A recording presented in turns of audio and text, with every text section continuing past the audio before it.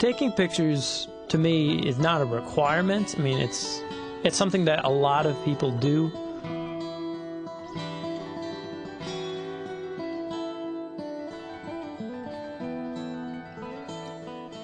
I do like taking the pictures, especially when they get to be artistic. I love taking pictures of the ocean and mountains. It, it's kind of surprising to myself that I don't take as many pictures as I think I should. It depends on how you grew up. If you grew up taking pictures, it just becomes natural. But if you grew up and your family never took pictures, I could see how it could become distracting. I kind of resent having to take the pictures all the time. I don't really get to experience the trip the same. I just see what's through the little rectangle. The act, like, if I'm the person taking the picture, I notice that when you look back at the pictures, you don't see the pre- pe- people that are actually taking the pictures. You just see whoever's in the picture, and it just kind of makes you feel a little left out sometimes. I don't think it really affects it at all. I guess I'm just so used to it, I don't even notice it anymore. I see something interesting, I take a picture. I've been used to doing it my whole life. It doesn't really affect my memories now that I think about it.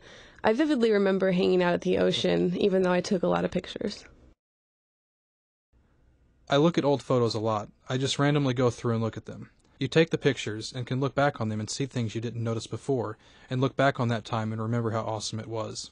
Pictures that have people in them kind of give a different light into what was going on because kind of a statement that, you know, hey, I was here at this event, but more importantly, I existed.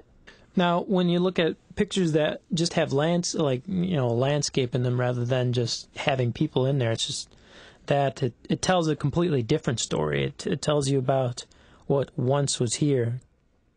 The biggest thing for me is being able to look back on something, something you might not have even remembered without the photograph sparking the memory. Um, looking at old pictures of Chicago or Los Angeles, it gives you a whole different view of what the city looks like. Like I have the Twin Towers picture. No one can ever take that picture of it again. You can't stand in front of it and just take a picture anymore. That's not going to happen. I love being able to look back at a picture and go, oh, yeah, that was a great time. It makes me really happy. I always wish that I'd, I've taken more pictures. As you can tell by the ridiculous amount of photos I have, I'm a photo junkie, and I'm okay with that.